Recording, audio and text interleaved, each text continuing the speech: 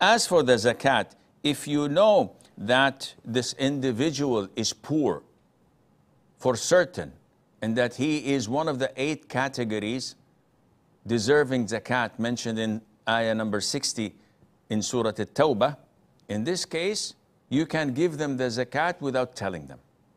Because telling them might break their hearts or they feel insulted. But due to your knowledge that they are truly deserving, then there is no need to inform them that, Akhi, this is zakat money.